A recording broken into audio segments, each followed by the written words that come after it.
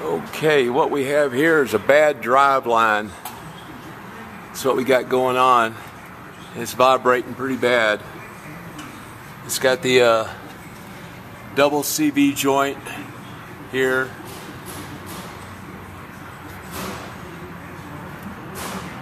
And uh, the splines here.